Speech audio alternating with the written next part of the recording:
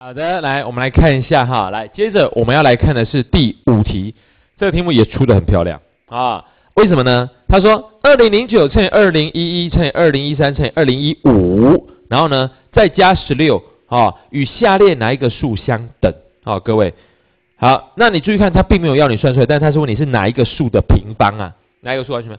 哎，这很明显在考你跟乘法公式有关嘛，对不对？你看到这个题目，你不会想套用乘法公式吗？为什么你要想到乘法公式啊？呃，田老师提供一个方法，你有没有发觉它有对称的概念？对不对？它全部都有对称概念嘛？我第一个想到就是它跟二零一二这边成对称是什么？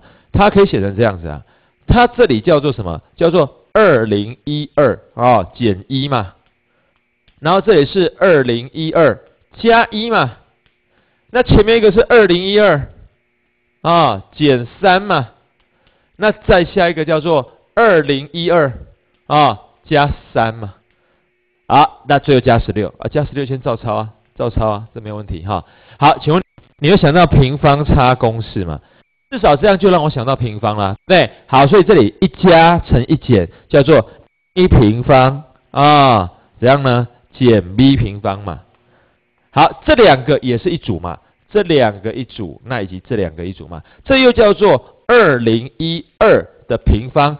扣掉多少？哎，三的平方就叫做九嘛，对不对？a 平方减 b 平方嘛，然后再加十六。哎呦，似乎答案呼之欲出了哈。为什么？因为你再把它用分配率把它展开，这个叫做这叫做二零一二的四次方，然后呢减九个二零一二平方，再减一个叫减十个二零一二的平方。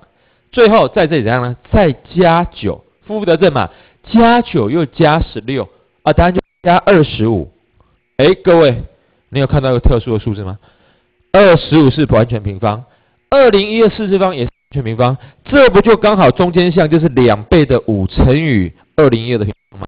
它根本就是在跟你讲，它就是什么？它就是二零一二平方减五的。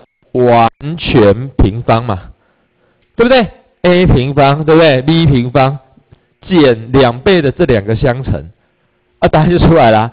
所以你现在就是把这里算出来对呀，其实这里就把这里算出来就对了。好，OK，好，啊，这样子可以接受吗？所以这里算出来答案多少呢？啊，天老师已经帮你算了哈，你真的把二零一二乘开，再去减五，就是里面那个数字了哈。所以你算出来答案就是四零四啊，怎样呢？